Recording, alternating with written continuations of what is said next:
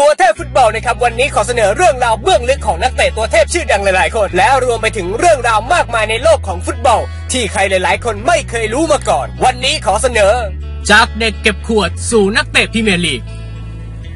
ไม่ว่าเขาจะทำอะไรในชีวิต อันโตนิโอจะทำได้อย่างยอดเยี่ยมเสมอ และผมชื่นชมเขาในเรื่องนี้มาตลอด เควินคิลบานอดีตเพื่อนร่วมทีมวีแกนกล่าวถึงวาเลนเซีย แบ็คขวารถด่วนของสโมสรแมนเชสเตอร์ยูไนเต็ดนั่นเอง วาเลนเซียมีประสบการณ์ค้าแข่งกับแมนยูไนเต็ดมากกว่า 271 นัดรวมทุกรายการ และยิงประตูให้กับผีแดงไปแล้ว 21 ประตู ซึ่งไม่น่าแปลกใจแต่อย่างใดนะครับกับการได้รับความไว้วางใจจากผู้จัดการทีมโจเซ่ มูรินโญ่ที่เลือกใช้บริการเขาในตำแหน่งแบ็คขวาแทนที่แบ็คขวาหน้าลอยอย่างมาเตโอ ดาเมียนทั้งทั้งๆที่โดยธรรมชาติของเขาคือการเป็นปีกขวามากกว่า เพราะด้วยวินัยในการเล่นและความฟิตระดับสุดยอด ร้อมกับความทุ่มเทที่มีให้แก่สโมสรเสมอมา โดยไม่เคยปริปากบ่นเรื่องมีข่าวเสียหายก็ทำให้เขายังอยู่ที่โรงละครแห่งความฝันต่อไปจนถึงปี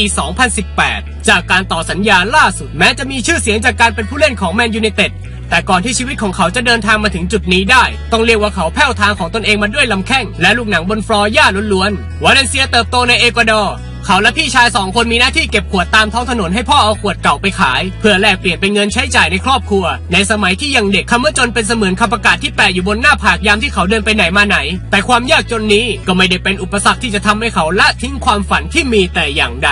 นอกเหนือจากหน้าที่เก็บขวดให้พ่อ หน้าที่อีกอย่างของวาเลนเซียก็คือ การไปช่วยแม่ขายเครื่องดื่มตามสนามฟุตบอลท้องถิ่น เพื่อหาค่าใช้จ่ายให้พอเลี้ยงครอบครัวได้ยามว่าจากการช่วยพ่อแม่หาเงิน เขามักจะเล่นบอลเท้าเปล่าอยู่ที่บังกะโลที่เขาอาศัยร่วมกับพ่อแม่ และพี่น้องชายหญิงอีก 5 คน เขามักจะคลุกอยู่กับลูกบอลอยู่เสมอ จนทำให้เขามีทักษะที่ดีขึ้น จนกระทั่งไปเข้าตาทีม scout ของสโมสรท้องถิ่นละแวกบ้านตอนอายุ 11 ปี ที่ชวนให้เขามาเป็นนักฟุตบอลประจำทีม แม้จะดูว่าเขาเป็นนักเตะที่ใช้แค่เท้าขวา และเปิดบอลอัดขาคู่แข่งเพื่อให้ได้เตะมุมอีกทีเท่านั้นเหมือนอย่างที่เห็นในตอนนี้ แต่ตอนอายุ 14 วาเลนเซียสามารถจัดการกับนักฟุตบอลอายุ 18 ปีได้อย่างสบายเท้า นอกเหนือจากความสามารถในสนาม นิสัยของเขาที่มีวินัยทำให้เปโดรเพอร์ลาซาโค้ชคนแรกในชีวิตของวาเลนเซีย พูดถึงเขาว่าเขามีความรับผิดชอบ และมีความเป็นผู้นำมาตั้งแต่ยังเด็ก เขาแตกต่างจากเด็กคนอื่นๆ ซึ่งสะท้อนถึงการลงมือทำ มากกว่าการใช้คำพูดตอบโต้ของเสือยิ้มยากคนนี้ได้เป็นอย่างดี ด้วยฝีเท้าที่เกินเพื่อนๆตอนอายุ 16 ปี วาเลนเซียจึงมีโอกาสได้ไปร่วมทีมเอลนาซิองนาน ซึ่งอยู่ในเมืองหลวงของประเทศ และเป็นโอกาสครั้งใหญ่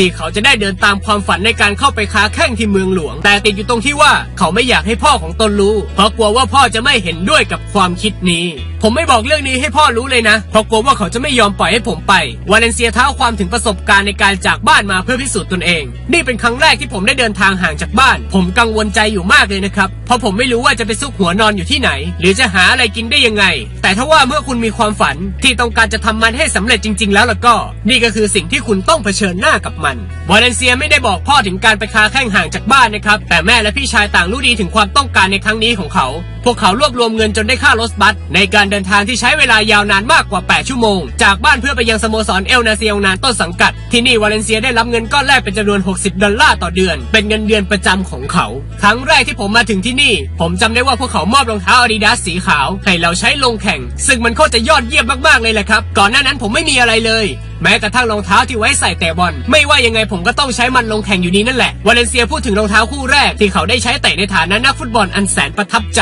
นี่คือเรื่องราวที่น่าเหลือเชื่อของวาเลนเซีย อดีตนักเตะยอดเยี่ยมประจำสโมสรปีศาจแดง ที่เคยโชว์ฟอร์มมันแจ่มแจ้ง จนได้สวมเสื้อหมายเลขเจ็ดอันทรงคุณค่าของสโมสรนี้มาแล้ว ซึ่งผมเชื่อว่า แฟนบอลหลายคนนะครับมักไม่ค่อยรู้เกี่ยวกับชีวิตของเขามากนะตลอด 15 ปีบนเส้นทางนักเตะอาชีพ เขาผ่านประสบการณ์ค้าแข่งมาให้หลายสโมสร ทั้ง El Nacional และถูกยืมตัวไปยัง Recreativo และย้ายข้ามฟ้ามาค้าแข่งในที่อังกฤษ กับสโมสรวีแกนก่อนเป็นทีมแรก ก่อนที่จะมาลงหลักปักฐานกับแมนเชสเตอร์ยูไนเต็ดตั้งแต่ปี 2009 เป็นต้นมา และเมื่อไม่นานนี้ก็เพิ่งได้ต่อสัญญากับทีมปีศาจแดงไป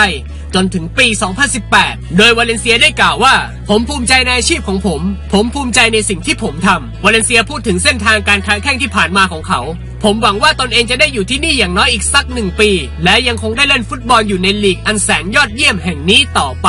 ตัวแทนฟุตบอลขอขอบคุณเพจ n e v e r l a n d Number 4ที่ได้แปลเรื่องราวที่น่าสนใจของชีวิตนักฟุตบอลชื่อดัง หรือเรื่องราวต่างๆ ในโลกของฟุตบอลให้พวกเราได้ทราบกัน ยังไงก็ตามนะครับท่านผู้ชมทุกท่านที่ได้ชมคลิปนี้ ก็อย่าลืมไปกดไลค์กดติดตามเพจดีๆเพจนี้ด้วยนะครับ รับรองว่าท่านจะต้องชอบเป็นอย่างยิ่งเลยทีเดียว และก็อย่าลืมกดไลค์กดแชร์คลิปของเราให้เพื่อนๆของท่านได้ชมกันด้วยนะครับ และที่สำคัญอย่าลืมกด subscribe ช่องตัวเทพฟุตบอลของเราไว้ด้วยนะครับ และหากใครอยากติดตามข่าวสารจากตัวเทพฟุตบอล อย่าลืมไปกดไลค์เพจตัวเทพฟุตบอลด้วยนะครับ ขอขอบพระคุณทุกท่านที่รับชมครับผม